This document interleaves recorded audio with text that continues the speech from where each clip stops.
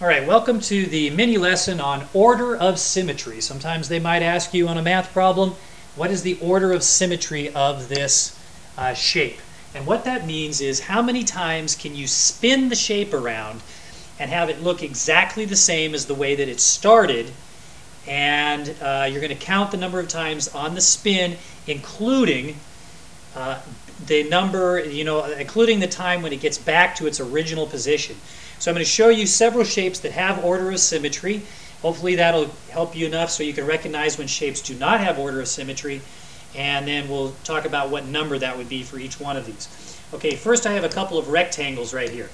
Uh, I, I did two of the exact same shape so you could see as I'm spinning it when it looks the same as what it started. So you can see these two shapes look exactly the same. They're called congruent. And as I spin this shape around, if I stop right here, it does not look like the shape below because the shape below is flat and long and this one's tall and skinny, right? But when I get right to here, notice where my arrow is right now where I'm dragging this around. This shape is actually upside down at this point in time, but it looks exactly like the other shape below, exactly like it did when it started. So that's one, and then I make it back to where I started here at the beginning, and that's two. So the order of symmetry for this shape, let me get my pen here, is 2. All right, how about this square here? Let's take a look at the order of symmetry for this. I'm going to move this one over a little bit. Notice they look exactly the same to start, and I'm going to pretend like this is a perfect square. I don't know if it is, but as I turn around, it looks exactly the same right now. So that's 1, and then I come around a little bit more, that's 2, 3, and then back to the beginning, 4. And so the order of symmetry for this square is the number 4. All right, let's take a look at the triangle. Can you figure out what that one's going to be? Okay, these two triangles look exactly alike. As it spins around and it gets to right there, that's 1.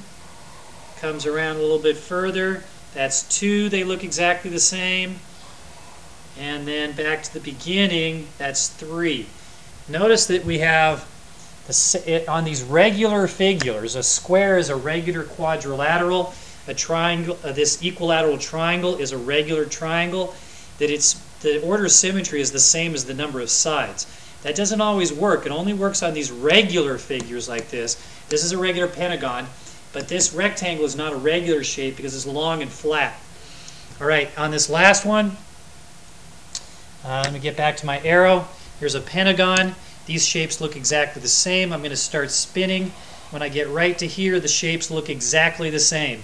Uh, so it's that's going to be one, two, three, four, and five back to the beginning. And so you can see that the order of symmetry for this pentagon is five. Thanks for watching.